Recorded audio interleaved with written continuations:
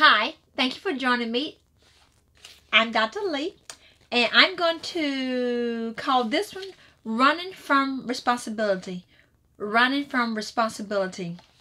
I'm going to read Jonah 1 and 3 from the NLT. Jonah 1 and 3 from the NLT. And it says, But Jonah got up and went in the opposite direction to get away from the Lord. He went down to Joppa and found a ship going to Tarshish.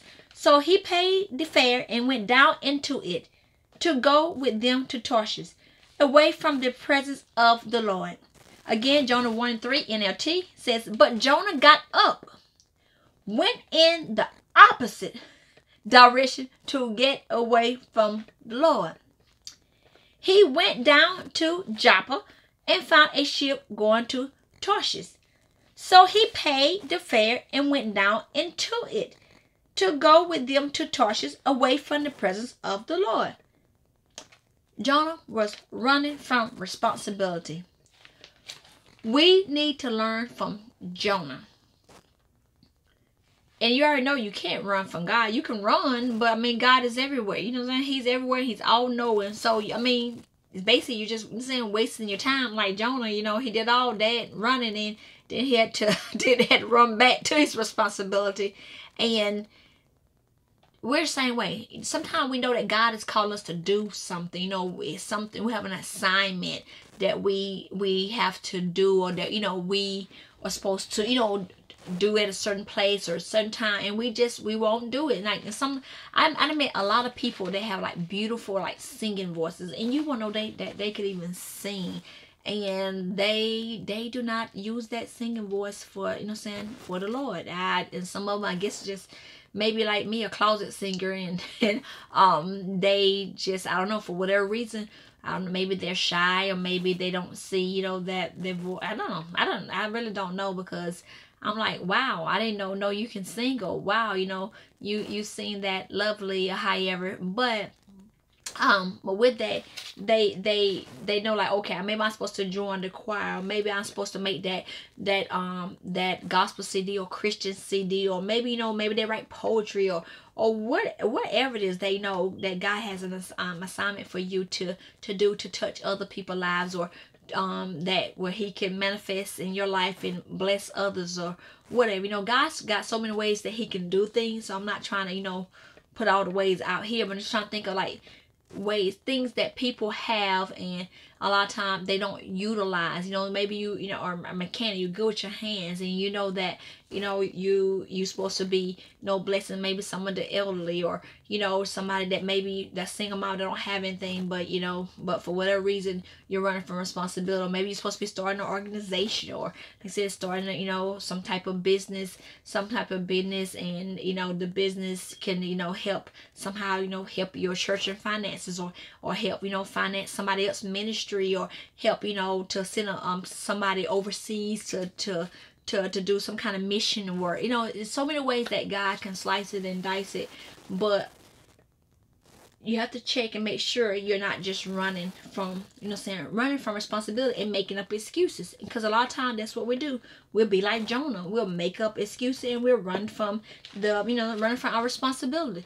And you know, in the you know, in the uh, physical sense, you have people that run from their responsibility. Some people have children. They they they you know won't take care of won't you know don't desire to take care of or however or, or they got you know senior parents or whether they they that they could help and you know pitch in or or you know somebody you know could be a sibling or a cousin whoever that god puts in your um your life that you may can be you know you know a a blessing to you know maybe your um you know your ministry maybe you like you know once a month you can buy you know a box of cereal for someone you know? I mean you know you may say well that's not much you know i can um to do that but some of the things are such a blessing to other people and speak um volume to you know to someone um well someone else. I heard a story um i was listening to I don't remember the name of it but it's something spiritual and i was listening to it's like an audiobook and the lady said that she was in a, um I think it was a restaurant and she said that um that it's like it's like like like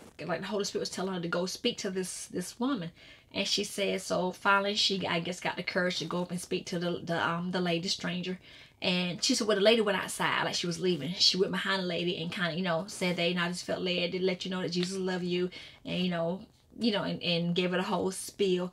And that the lady was like, uh, um, you know, what would make you, you know, um, say that, you know, she was like, you know, you want me to pray with it and went through the whole, you know, um, shebang got everything.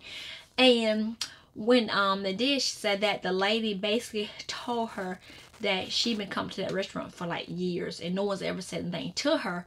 But she was so down and out, and she had told herself, you know, that you know this was like it. Like I wanted, if I understood right, that she was gonna commit suicide or something, and um, and that you know, if God was really real, if, you know, Jesus was real, you know, he would speak to her um, now, you know, he would say something, you know, to her. And so, she, and she was like really caught off guard when she was outside. Then this, I think the lady said she was standing on a tree or something. She was just kind of standing, you know, like she was lost.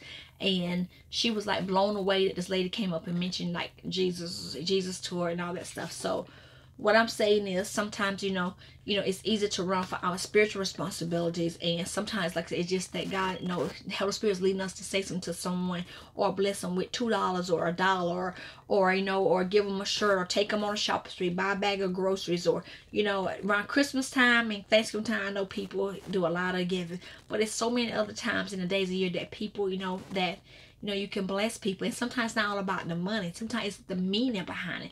Because the person could have a billion dollars but god tell you to give that person three dollars and you have no idea what that three dollars mean to that person or that dollar mean to that person. But by you being obedient and not letting like okay this person here you know a billionaire and i got i'm giving them three dollars you know i'm giving them a dollar and fifty or whatever that what is speaking to that person. So sometimes we'll make up excuses like jonah and we'll run for it. You know we look at these bible stories and we're like oh i wouldn't do that. But we we, we tend to do it all the time because we don't take these bible stories and utilize them and put them in our life. You know like today? How how how can i run from responsibility?